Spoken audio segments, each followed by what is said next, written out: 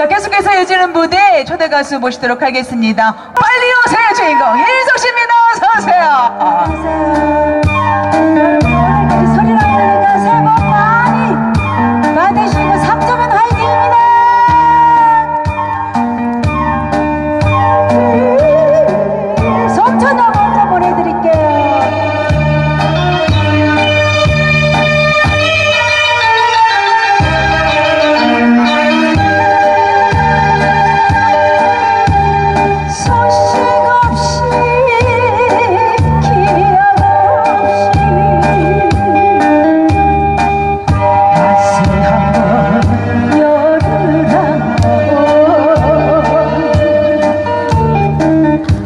한번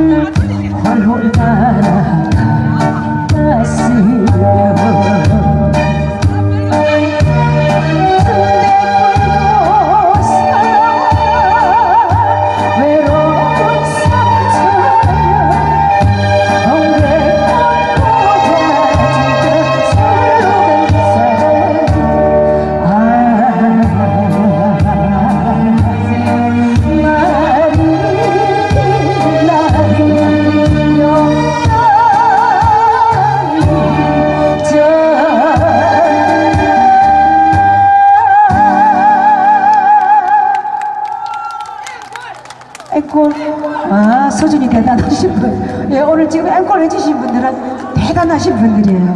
날씨가 조금 더 좋아져가지고 여러분 맞출 때까지 비가 안 오기를 바라면서 마음속으로 기원을 하시기 바랍니다. 그래서 제가 한 곡 더 부르고 갈게요. 빨리 마치자는 의미에서 빨리 오세요